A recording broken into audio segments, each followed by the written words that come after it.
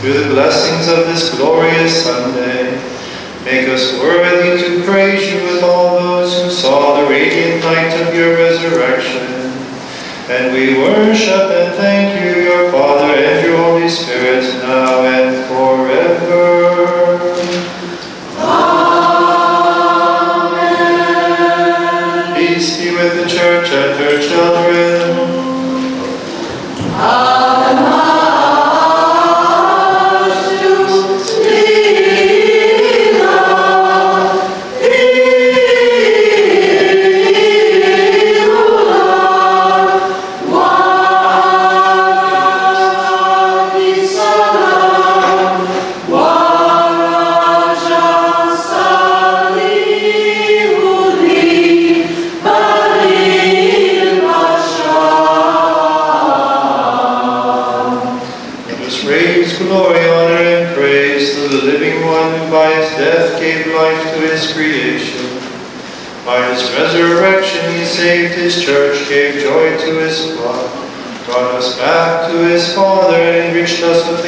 of his Spirit.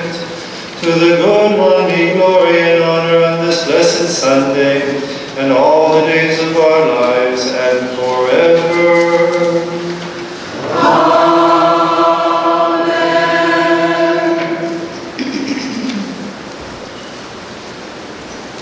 Only begotten Son, you were born of the Father before all ages, and by your creative will, you separated light darkness on the first day of the week.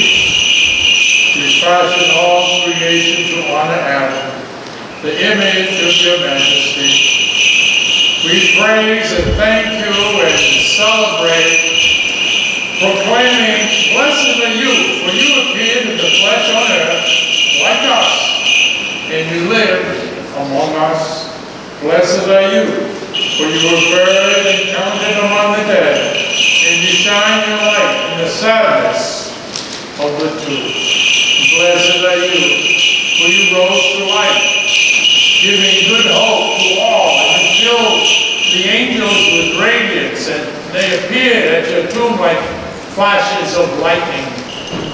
Now, Christ, we ask you, with the fragrance of this incense, to make us worthy to rejoice in the glory of your radiant resurrection, breathe life into our departed, and make them worthy to stand at your right hand in your eternal life that you have prepared for those who love you.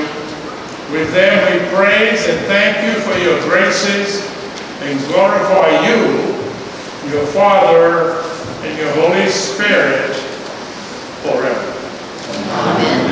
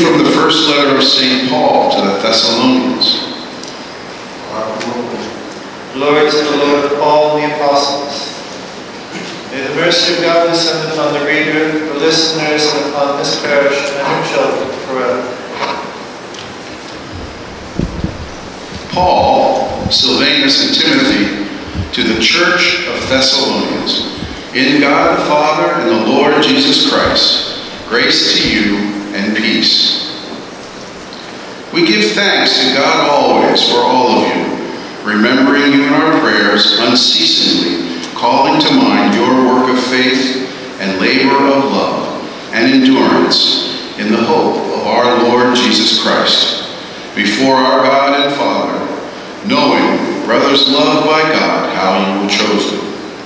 For our gospel did not come to you in word alone, but also in power and in the Holy Spirit, and with much conviction. You know what sort of people we were among you for your sake, and you became imitators of us and of the Lord, receiving the word in great affliction, with joy from the Holy Spirit, so that you became a model for all the believers in Macedonia and Achaia. For from you the word of the Lord has sounded forth, not only in Macedonia, Macedonia and Achaia, but in every place your faith in God has gone forth, so that we have no need to say anything, for they themselves openly declare about us what sort of reception we had among you, and how you turned to God from idols to serve the living and true God, and to await his Son from heaven, from whom he raised from the dead, Jesus, who delivers us from the coming wrath. Praise be to God always.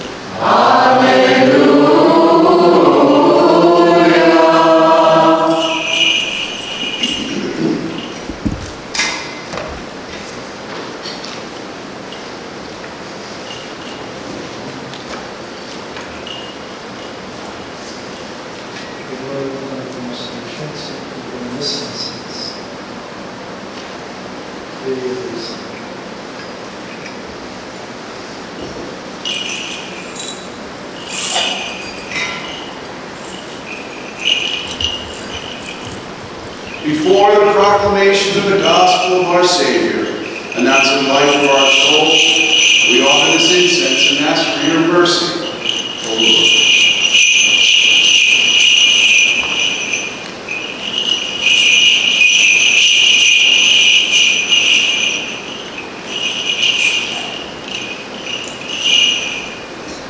Peace be with you. The Gospel of our Lord Jesus Christ, according to St. Luke, who proclaim life to the world. Let us listen to the proclamation of life and salvation for our souls. Remain silent, O listeners, for the Holy Gospel is about to be proclaimed to you. Listen and give glory and thanks to the Word of the living God. The evangelist Luke writes, A Pharisee invited Jesus to dine with him, and he entered the Pharisee's house and reclined at table. Now there was a sinful woman in the city who learned that he was at table in the house of the Pharisee. Bringing an alabaster flask of ointment, she stood behind him at his feet weeping, and she began to bathe his feet with her tears. Then she wiped them with her hair, kissed them, and anointed them with the ointment. When the Pharisee who had invited him saw, that, saw this, he said within himself, If this man were a prophet, he would know who and what sort of woman this is who is touching him, and that she is a sinner. Jesus said to him in reply, Simon, I have something to say to you. Speak, Rabbi, he said. Two people were in debt to a certain creditor. One owed 500 denarii and the other owed 50. Since they were both unable to repay their debts, he forgave it to them both. Which of them will love him more? Simon said in reply, The one, I suppose, whose larger debt was forgiven. And he said to him, You have judged rightly. Then he said to the woman, Then he turned to the woman and said to Simon, Do you see this woman? When I entered your house, you did not give me water for my feet. But she has bathed them with her tears and wiped them with her hair. You did not give me a kiss. But she has not ceased kissing my feet since the time she entered. You did not anoint my head with oil, but she anointed my feet with ointment. So I tell you, her many sins have been forgiven. Hence, because, because she has shown great love. For the one who is whom little is forgiven loves little. And he said to her, Your sins are forgiven. The others at table said to themselves, Who is this who even forgives sins? But he said to the woman, Your faith has made you whole. Go in peace. This is the truth. Peace be with you.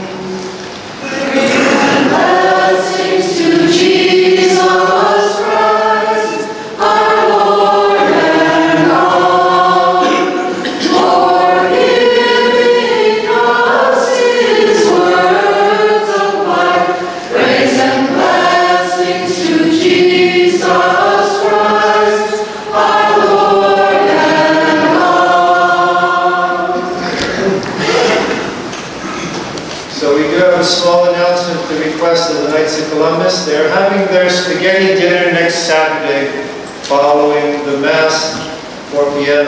After that will be the spaghetti dinner. It is a fundraiser they wanted to make sure was clear for the building fund of St. Joseph's. So you have in the bulletin all of the things that have been going on and the, well, actually more than $20,000 in all of these various projects brought together. They're listed. So just to keep that in mind, tickets will be sold for the dinner after Mass. And so its intention is for the building fund. And wisdom is vindicated by her children. In the name of the Father, and of the Son, and of the Holy Spirit. Amen. In this gospel today, that we know very well, we don't always necessarily read it every year because it's the 15th Sunday of Pentecost. It depends on when Easter falls. But this gospel, of course, shows us concretely in this woman the example of the fruitfulness of the good field that brings forth fruit a hundredfold, which is also that parable from the Gospel of St. Luke. Now it follows this, so we're actually reading a section of the Gospel which comes before. And the parable of the sower that we had a couple weeks ago was is just after this, in fact. The quotation that I gave you at the beginning is, Wisdom is vindicated by her children. As always, it's the context which gives us properly to understand what is the full meaning of this gospel. And the, we mentioned the sower of the seed is what follows this. Our gospel today. And of course, then we have, just before this, the Pharisees asking our Lord questions, and the disciples. And they're following after our Lord and they're posing these questions to his disciples, not to him. And they say, Why does your master eat and drink? Because they're comparing him to John the Baptist. And John the Baptist, of course, famously lived out in solitude, fasted continually, and was quite an austere figure. So if this rabbi who comes along now is meant to be this great teacher, why isn't he doing the same thing as John the Baptist? Not that they believed in John the Baptist, they're just simply finding something to pick at, which is fairly common. And so as they ask this question, our Lord is the one who turns around and answers them. And he says, To what should I compare this generation? That you are like children in the middle of the marketplace, and you play your little tunes. Sometimes it's happy, sometimes they're sad, and then you start getting angry with the people in the market because they're not changing their moods according to your whims. That they're not dancing when you're playing something joyful, they're not mournful when you're playing. He says, This is the way you are. Fickle. And he says then this phrase, but wisdom is vindicated in her children.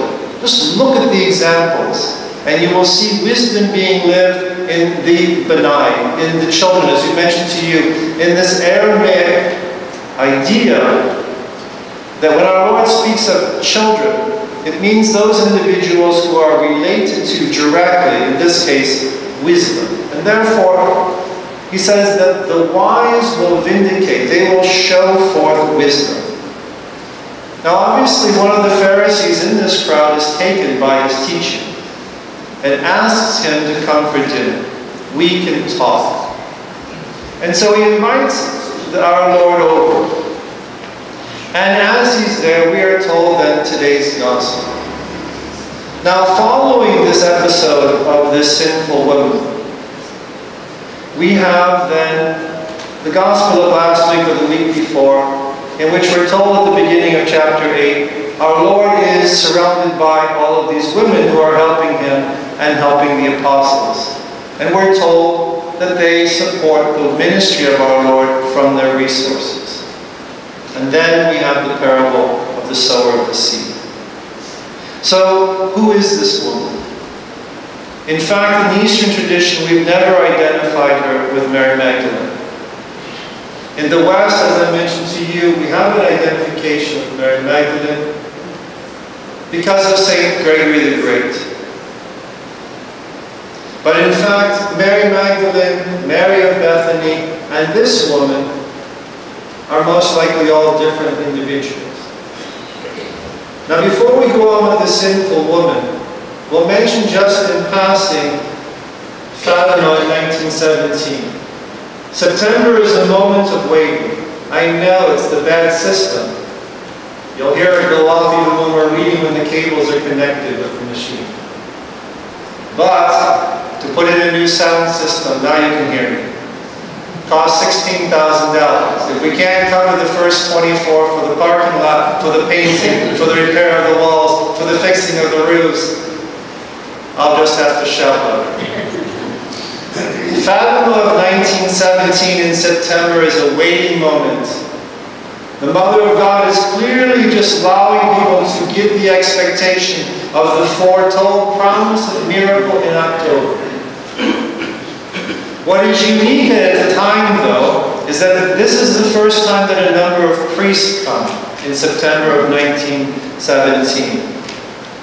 There is an apparition that takes place on the 13th, and the Mother of God tells the children, as always, to continue the daily rosary to end the war. In July, she also mentioned the rosary words for peace in the world. Peace and the distinction from being just simply a cessation of the fighting of the war. Two different things. Daily rosary, she repeats it over and over and over again. And if judgment comes to the world, it is our fault because we didn't take 20 minutes a day to pray the rosary. So she repeats this again, and then she tells the children that in October, next month, our Lord will also appear. And Our Lady of Sorrows and Our Lady of Mount Carmel and St. Joseph will also come with the Christ child. They're told these different details, though we don't know how in September, they don't know how this is going to happen, they're just told this will take place in October. Then lastly, she tells the children, God is content with your sacrifices. Remember that the message of Fatima fundamentally is twofold. The ending of the war is a historical circumstance. But she asks for the daily rosary for peace in the world. Then she also asks for sacrifices for the conversion of sinners. It's not the, the rosary is for peace, for that order of grace within the world of salvation.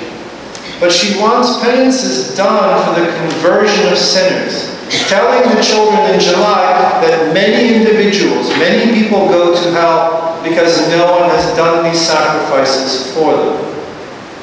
So it's an interesting detail because what the children did in July is they found these kind of old ropes around. You know, the kind of nasty things you tie up the, the ships with. Big rope, kind of bristly, so it picks. And so the children took this rope and they started wearing it around their waist to do penance for the conversion of sinners. So that a seven-year-old and a nine-year-old and a ten-year-old put most of us to shame for that spirit of sacrifice. And this sacrifice, which to our 21st century ears sounds a bit extreme, the Mother of God actually confirms and encourages by telling the children in September of 1917 that God is content, God is pleased by your sacrifices. But stop wearing the robe while you're sleeping. So apparently, the children were wearing this penitential robe 24 hours a day to do penance for the conversion of sinners. And the Mother of God gives them this little detail of saying, all right, not while you're sleeping, just during the daytime. And then again, she moves to the east and fades off.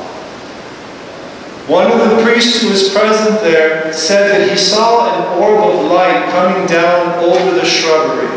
He didn't see anything in the light, but he saw what he called the vehicle of Our Lady, the chariot of Our Lady.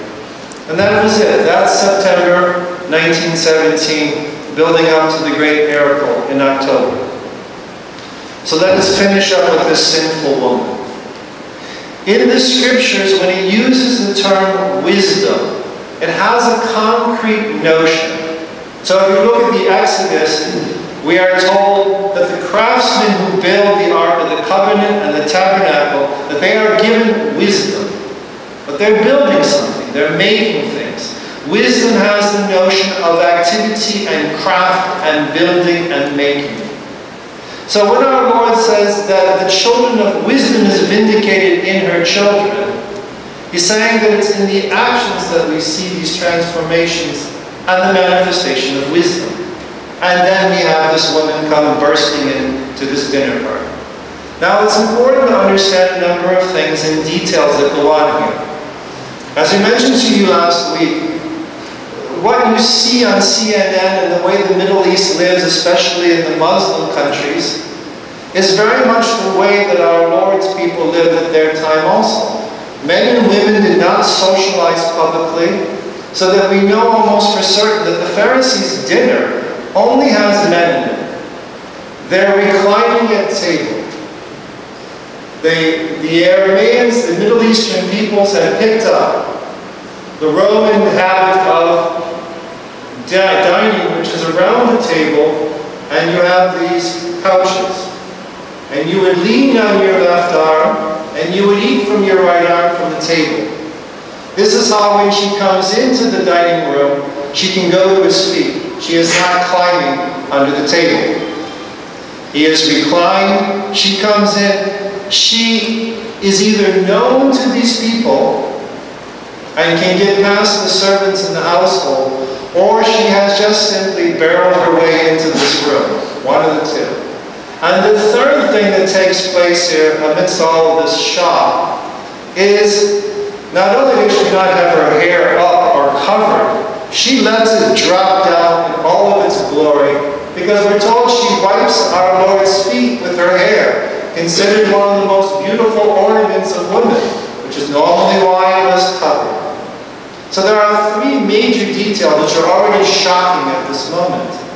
But the fundamental one is that when all of this is taking place, the Pharisee is saying to himself, apparently resolving a question from what he had earlier of our Lord's teaching about John the Baptist, is that this man is not a prophet. Because if he were a prophet, he would know that this woman is, is a sinner. He may not know her public reputation, and we have no idea who she was. Is she living in adultery? Is we don't we have no idea what she's doing. But she is known publicly. She is notorious for her sin. The people in this room know her, even if this rabbi from Nazareth doesn't know her. If he were a prophet, though, he would still know that she was a sinful woman. And he would not allow her to touch him. If you go to Jerusalem, you will find in some of the more orthodox neighborhoods to this day, what the Pharisee is announcing is not prejudice and a judgmental attitude of being a creep. He is outlining the law of Moses, in which contact with public sinners was considered polluting. And I remember once when I was on a pilgrimage to Jerusalem back in the 1980s, the seminarians.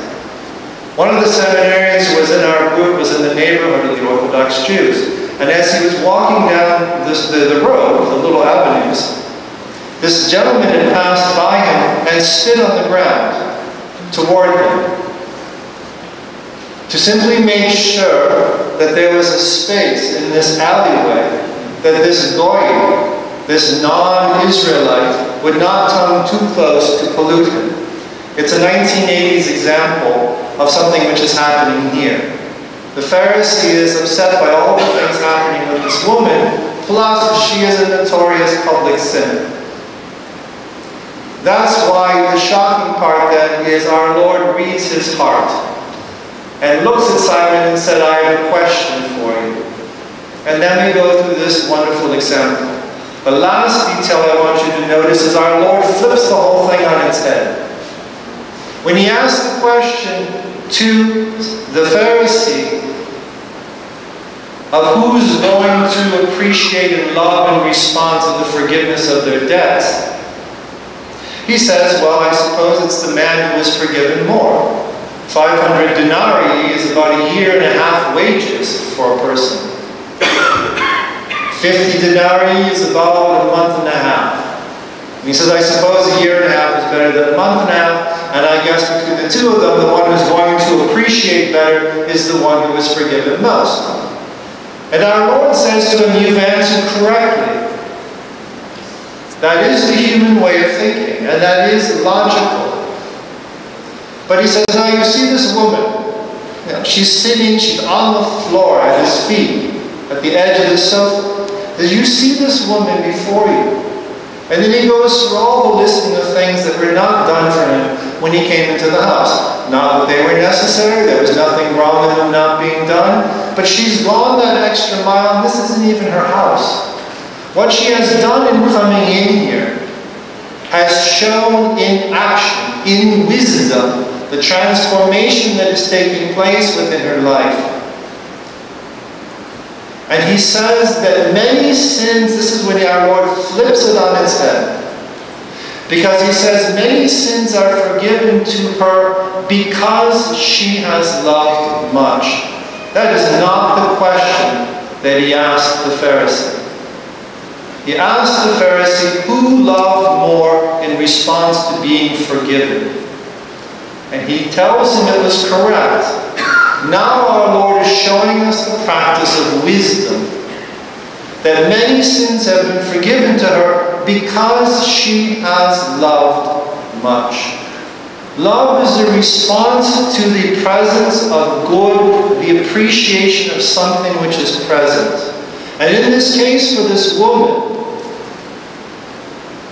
deepening within herself a real and true situation she sees herself and the gap of where she should be and where she's actually living. This is the beginning of the understanding of truth. And wisdom is pushing this woman along that so that she considers in confronting this reality to remedy it. Now, was she in the crowd listening to our Lord teaching at some point? Probably. So she knows there's something about this rabbi from Nazareth. But the next step in wisdom is that she overcomes human respect. How many things that we do in our lives because we are concerned about what others will say or think? And maybe even in her case, if she's living in adultery, if I leave, what will happen? Who will think what? What will these other people think? Who knows? But that next step in wisdom is to overcome human respect and to do in wisdom what needs to be done. She knows that she is loved, she appreciates this rabbi, and so she's going to move in the direction to remedy her sins. And in overcoming that human respect, she has plowed her way into the middle of this dining room and shown again in action, in wisdom, her repentance. She turns to the Lord, which is the meaning of conversion. And more importantly, we understand that in overcoming human respect, she has changed that attitude, changed that mind, the metanoia, which is the word in the Gospels for conversion, which literally means to change our nous, changing the mind, changing our attitude. And that is why when our Lord points at her, he can say that many sins have been forgiven her because she has loved much. There are many steps that brought her to weeping on the floor in the middle of this dining room. And that's why he looks at her and says, Her sins are forgiven. They grumble at the table again. Who is this who can also forgive sins? Not because they believe he's forgiving sins, they're asking themselves this question cynically. He ignores that totally, turns to this woman in tears on the floor, and says, Go. Your faith, again, loyalty, your trust, your confidence has made you whole. Go in peace. May God grant us the same wisdom to transform our lives. In the name of the Father, and of the Son, and of the Holy Spirit. Amen. We believe in one God,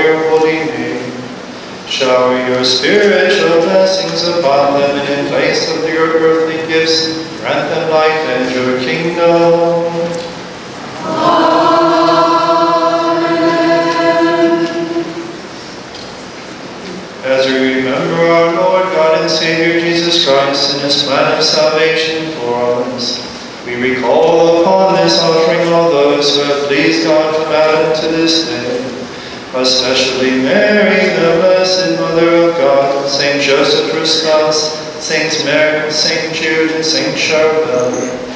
Remember, O God, the children of the Holy Church, our fathers and mothers and our brothers and sisters, both the living and the departed, especially those for whom this sacrifice is offered, for the intentions of Reverend Mr. Dunn and his family. Remember also all those who share with us today in this offering. Thank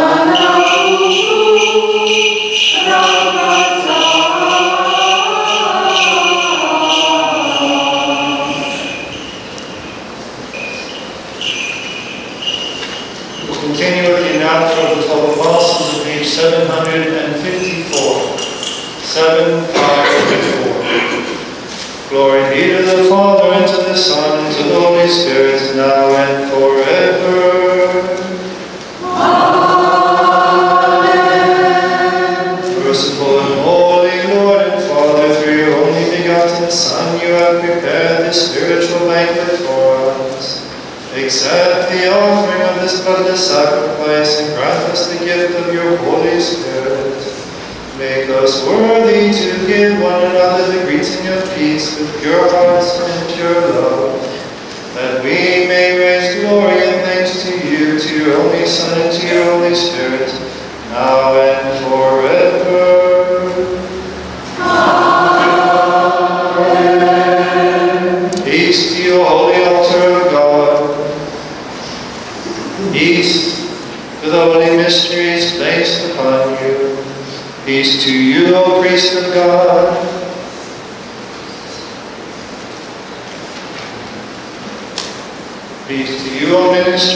Holy Spirit.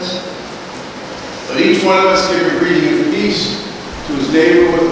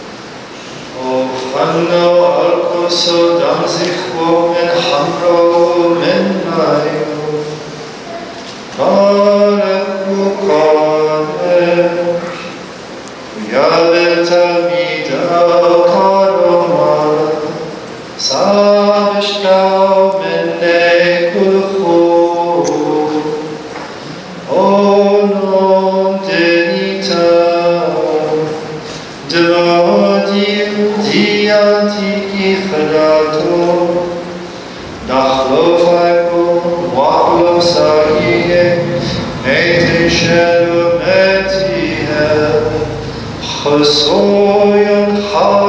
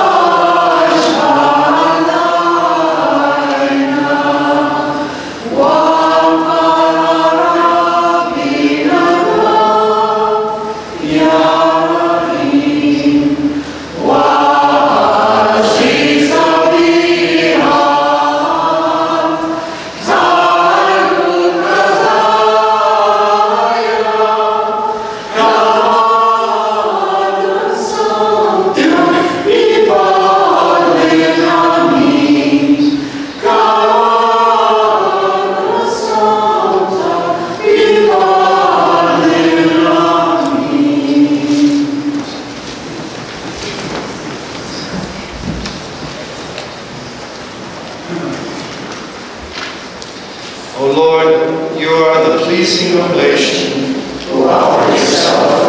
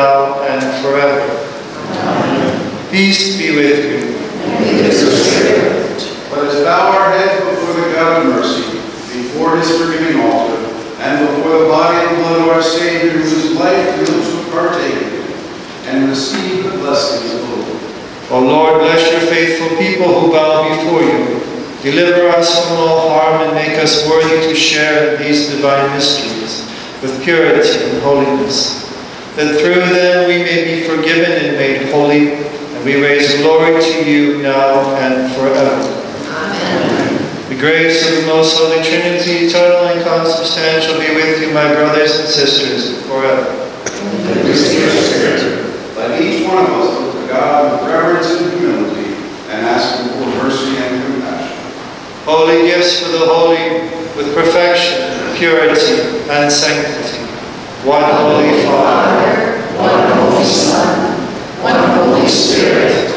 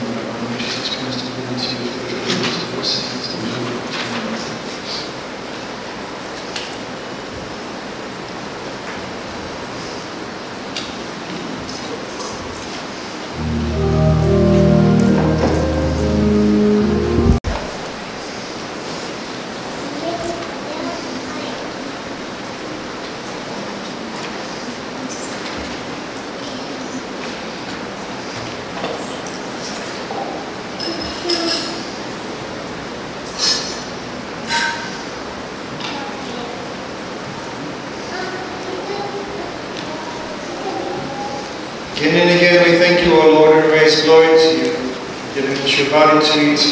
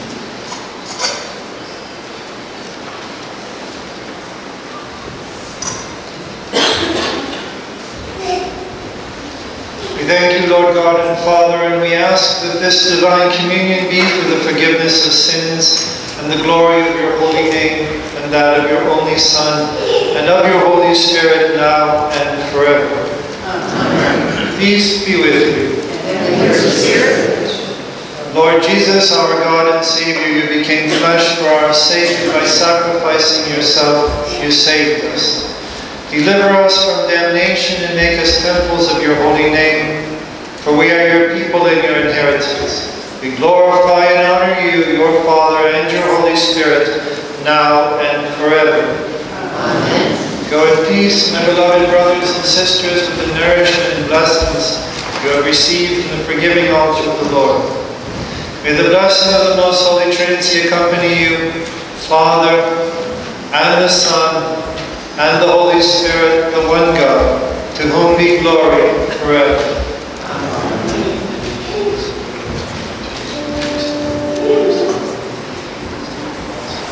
Amen.